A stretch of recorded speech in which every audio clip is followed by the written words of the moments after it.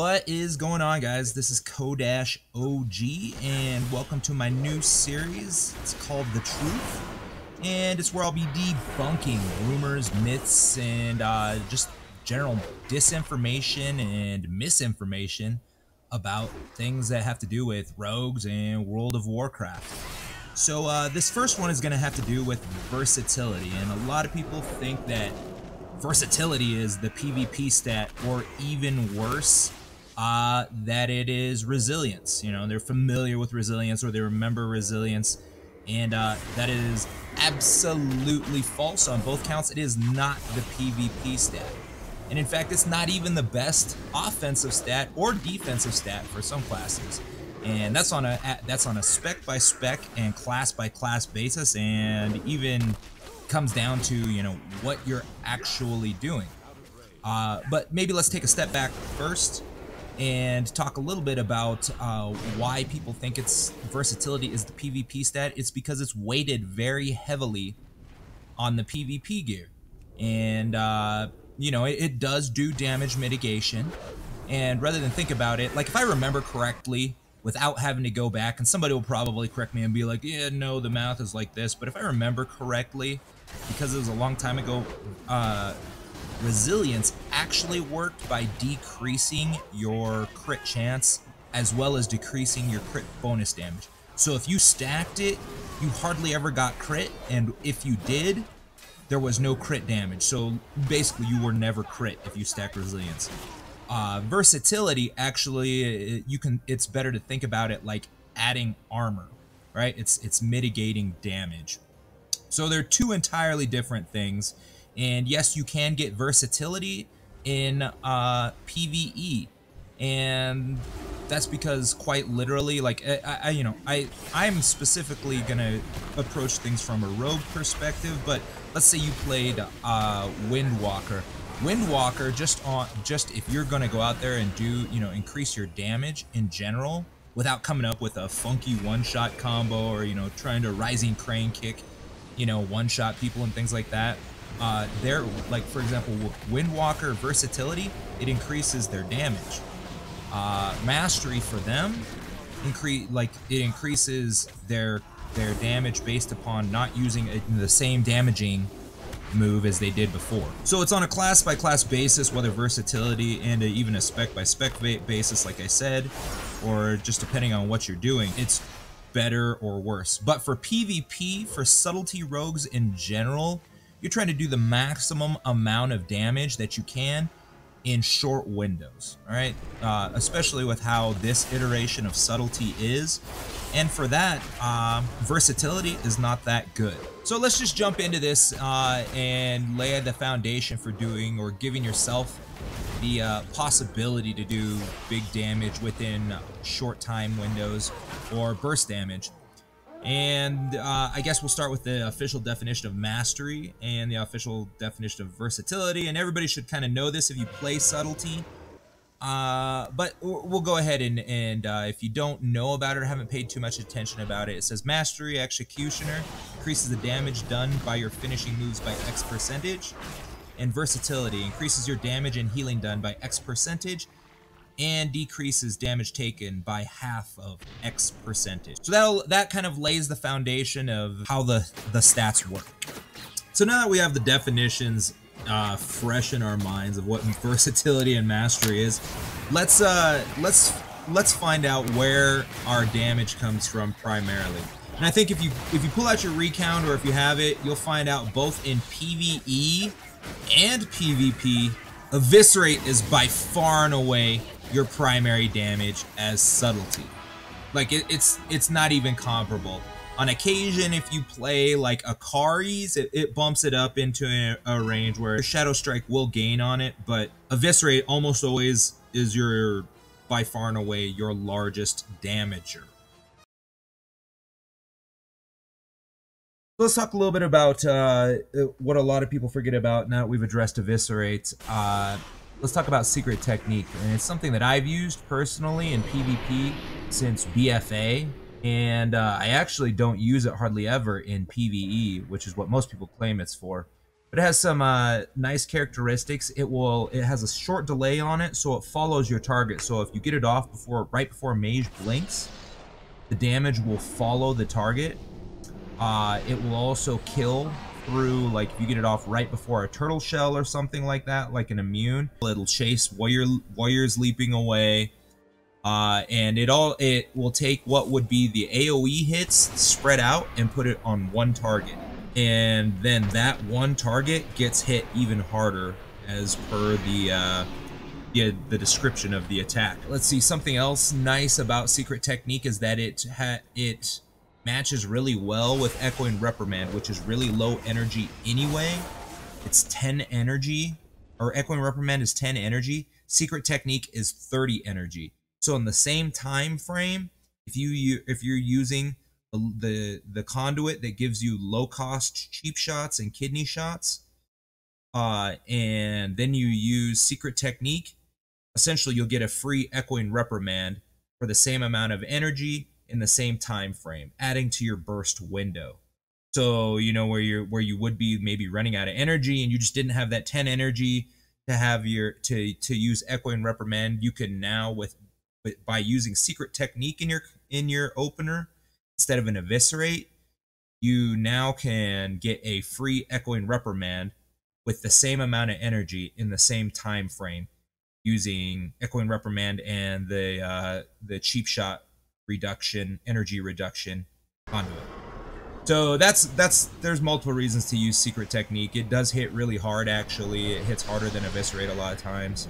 Um, on top of that. So, yeah, as far as secret technique goes, I use secret technique in my openers and have since BFA.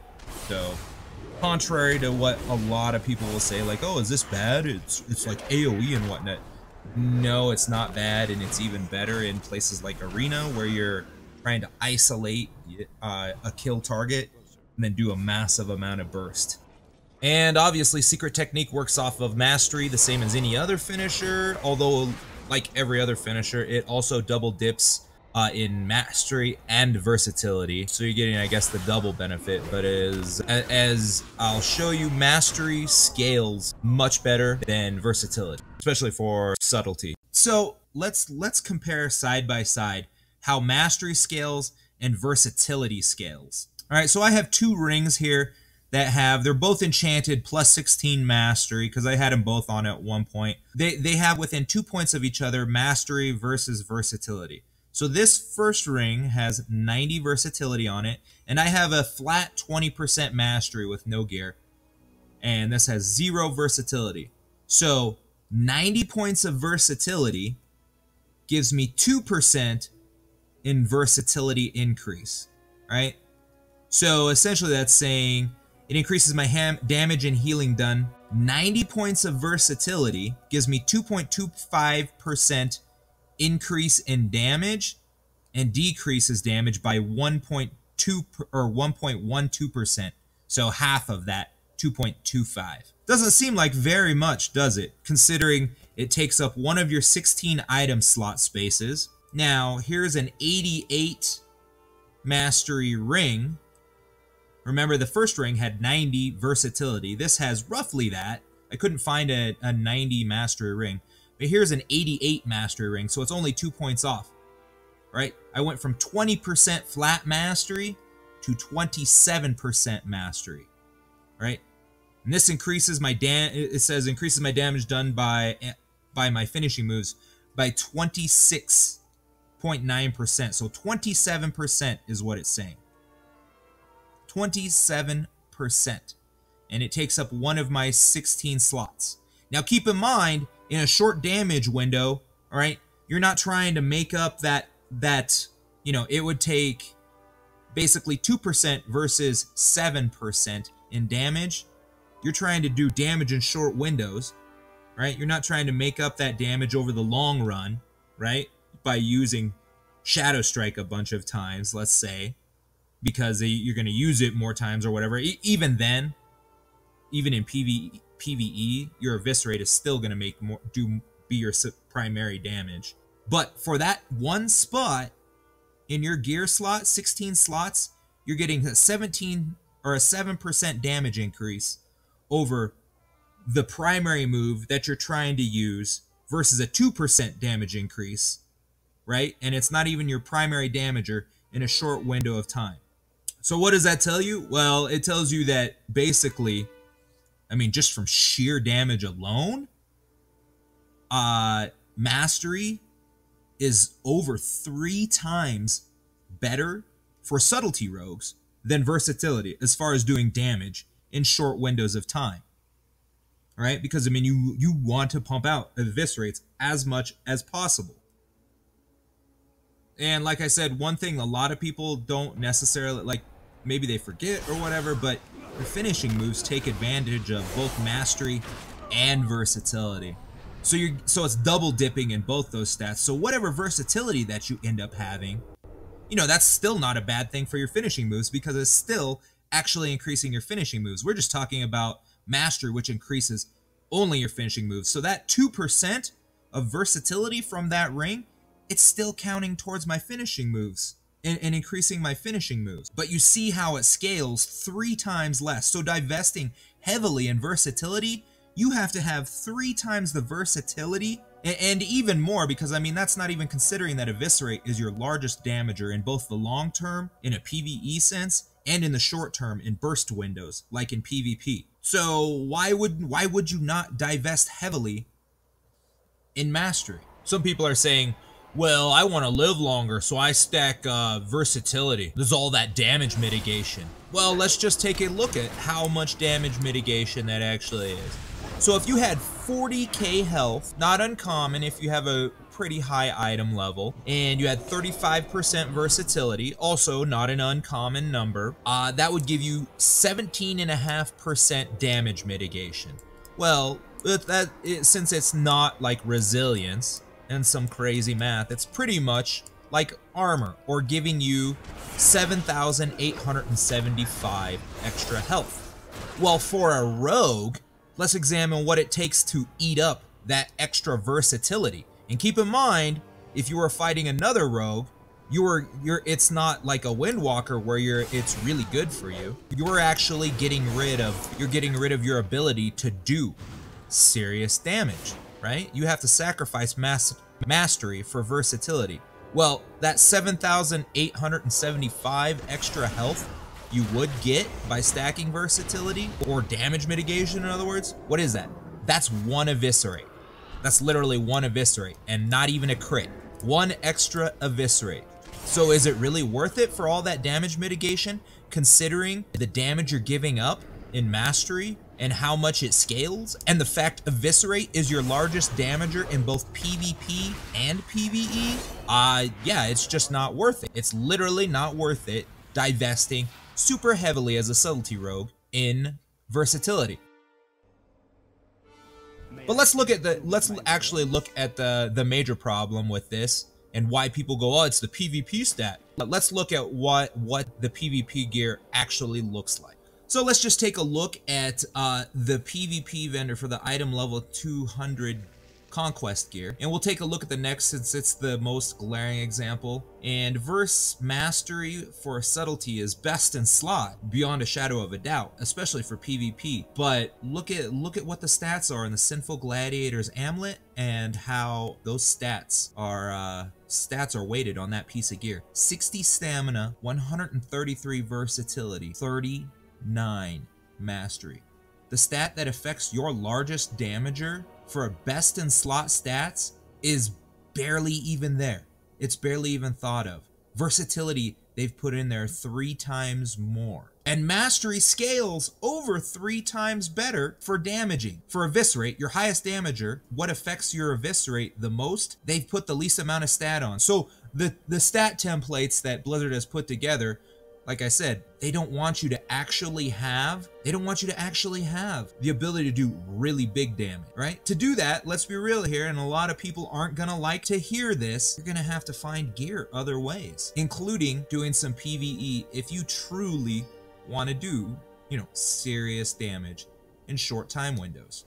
Because it's, it's you you just have a PvP template with limited possible combinations and outcomes, and Blizzard knows that they haven't given you the best stats for subtlety anyway, But the PvP gear, literally, it, it encourages you to stack versatility and it scales three times less as well than what affects your highest damager. So uh, let's just take a look at my stat weights and what I'm doing. And I get gear from a variety of sources. A lot of PvE. I do have some, a couple pieces of Conquest gear and attempt to optimize my gear. And people who are using just the PvP suit and the unoptimized gear, like I said, Blizzard knows that they didn't give you the gear to do really big burst damage. They know that, at least for subtlety rogues. It's got a hell amounts of versatility, so it's good for it's good obviously good for Windwalker, which is like I said, probably part of the reason why Windwalkers are good right now. Uh, but I get my gear from a variety of sources, like I said. I'm sitting at 66% mastery. So I'm sitting I'm playing with bumping up against two of the two of the DRs for my mastery. But my finishing moves are getting buffed 66% by mastery alone, plus another 14% from my versatility. And actually, I play at item level 207. I could go up to item level 208 or 9, but it's not as optimized a stats as this gear set for PvP.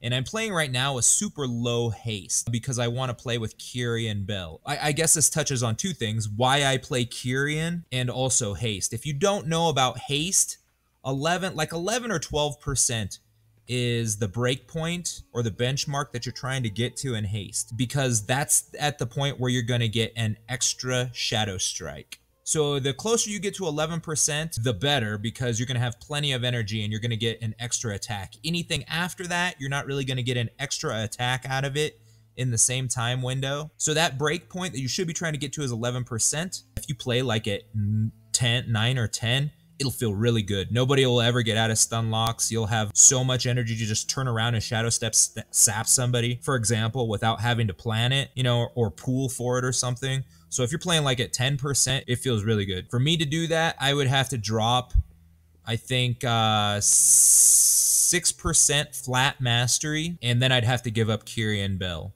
And I guess if you don't know why you play Kyrian, well, they nerfed uh, Echoing Reprimand, so I can't like cheese one-shot people with Echoing Reprimand. Yeah, but it still gives you however much mastery, which they did actually nerf. And I'll show it. I'll uh, I'll show it to you in PvP also, but uh, it still gives you mastery. But then you get the high. You get access to the Kyrian only high item level Kyrian Bell, which 57 flat agility, so it's a good flat stat it's a good stat stick for the 194, which is the biggest one I've seen. I haven't seen anybody with an item level like 200 or 210 or anything like that. Like I've, per I personally have the biggest one I've ever seen. They probably exist, but I've never run across it.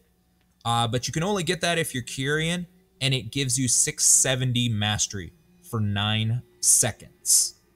For nine seconds, all right? 670 mastery.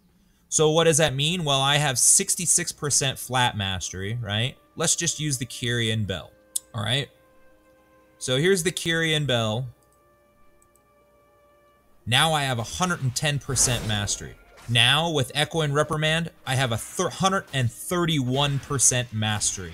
All right, and I understand that that's nerfed in PvP, and I'll show you what it is actually in PvP. So I can go from 66% mastery because I play Kyrian to 131% mastery in a short time window. Why is that important? Well, mastery scales the best and affects your eviscerate is your highest damage, right? Does the most amount of damage for you. Your highest damage as far as burst goes.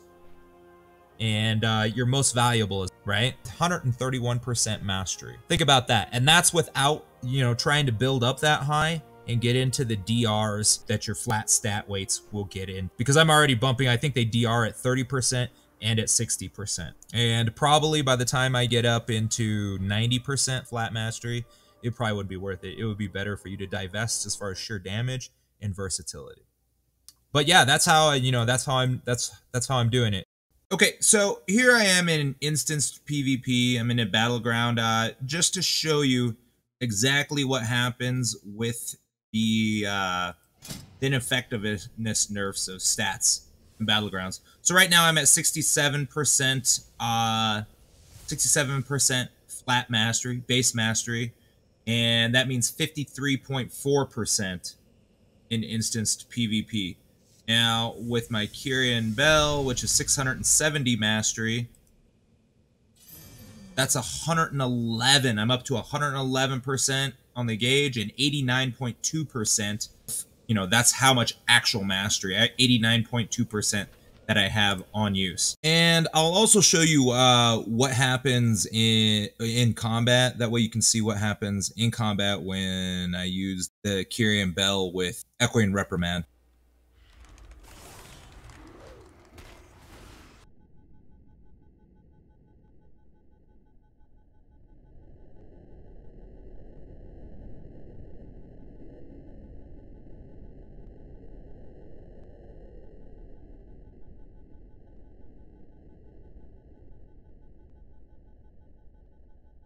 Okay, so as you can see, 97.4% increase in mastery, stacking the Kyrian Bell Trinket at 194 and Echoing Reprimand.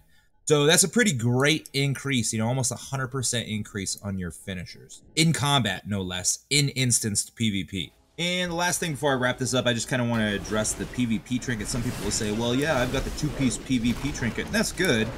Uh, but let's just say you had 35% versatility you know, and the, the math is hidden on the PvP trinket set bonus, so you don't know if it's 35 or the bonus is 40% of that 35% or if it's just a flat 40% boost. But best case scenario with the PvP trinkets, if you had 35% versatility, would be a 40% boost, right? Flat boost.